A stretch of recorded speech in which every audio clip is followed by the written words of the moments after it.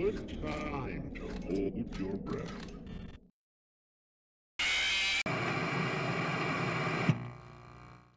Better luck next time. That sure was fun.